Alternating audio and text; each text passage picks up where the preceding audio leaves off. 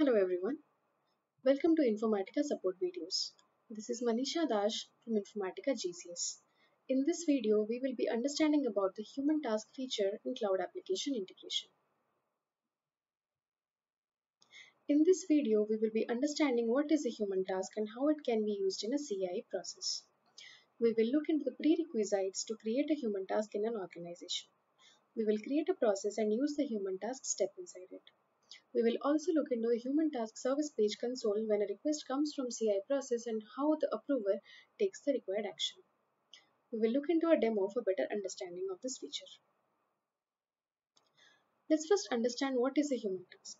As the name suggests, human task is needed in a CAI process when a human intervention is required. In real-time data processing, we might have a need to send some data to an API. The API might have a business requirement when the data can be sent to it. In this case, we can use a human task step before the service step to decide whether we can send data to this API at this point of time or not. The organization must have a human task flow license to be able to create and process the human task service. We need to create a human task custom role for the user to be able to create the task and use it in application integration. We also need to set a user role for the user who needs to view the task in Service Console and take the required action. Once we enter into CAI console, we need to click on New and create a human task step.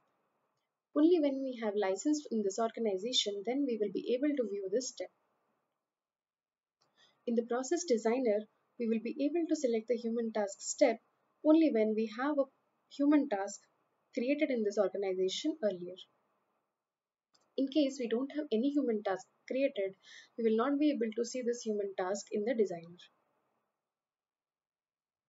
While creating the task, we can select the priority of the task so that the approver checks and takes the required action accordingly. We will be able to select whether the task can be skipped or not. We will be able to select the owners of the task, the administrators, and the stakeholders of it. The owners of the task can take required action to approve, reject, or skip the task. The administrators who can also act as owners will be able to reassign the task to other owners. Stakeholders of the task will not be able to take any action but will be able to comment on the task. We can also select input fields, outcomes, and output fields of the task. Now let's proceed with the demo. In a demo, we will be checking how to create user roles for the human task usage. We will be creating a human task and we will use it inside a process.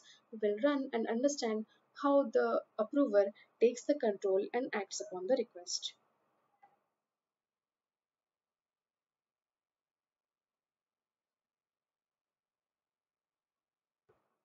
Now in this organization, we have human task license already available.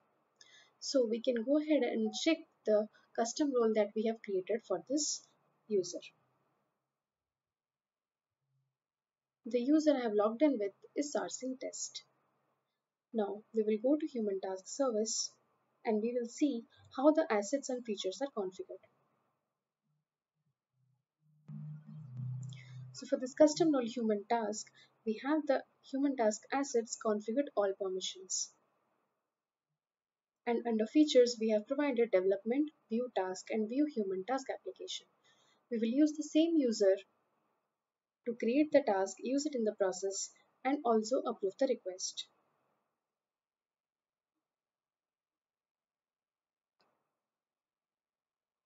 Now under users, we will see how the custom role is enabled for the user and also the service is enabled for the user.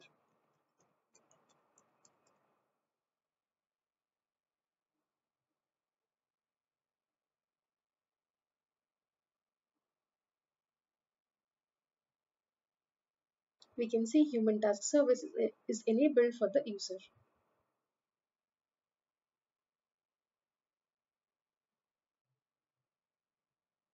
We have also enabled the human task custom role that we created for this user.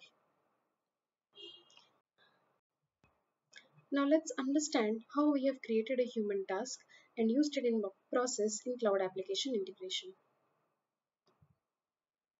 Here we have created a human task We have provided the definition with the asset name, the location, and the priority of the task. We can also select if the task can be skipped or not. Under assignments, we have created owners of the task, administrators, and stakeholders. We have created three input fields to send data from the process to the approver. We have also created three outcome fields. By default, the task will have its own outcome field which can be seen in the process. Under display settings, we will be able to create the task name and we will be able to create a guide using the generate button. In case we already have a guide created and we want to use it for the same task, we will be able to browse here and select the guide. If the guide is in unpublished status, the task will be in invalid state. We have created a wrapper process for the subprocess process test APIM and in this process we are deciding whether we can invoke this sub-process or not. To make this decision we are using a human intervention here. We have added a human task step just after the start step to decide whether we can move ahead with the path 1 and approve the request and or we can reject the request and end the task with an assignment.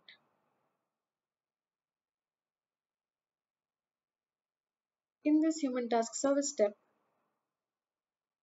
we can see we have three input fields which we created in the task and we have the output fields. This is the output field which we created explicitly and task outcome is the default output field coming from the service step.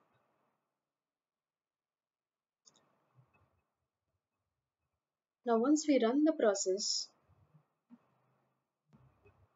we will be able to see a request in the human task service console. And as the user sourcing test is the owner of this task, he's got the request to take action on it. We will be starting the task and until then the process will be in halted state.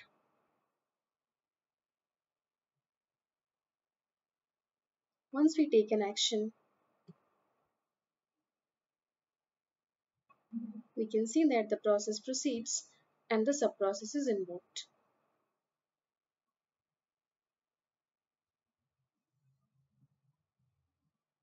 In case the approver decides to reject the request,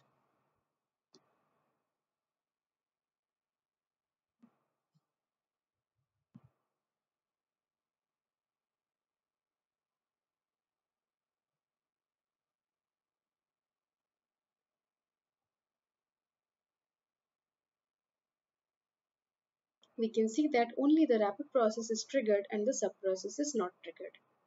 This is because here we have made a decision whether the request is approved or not. Based on that, based on that decision, we are taking the action.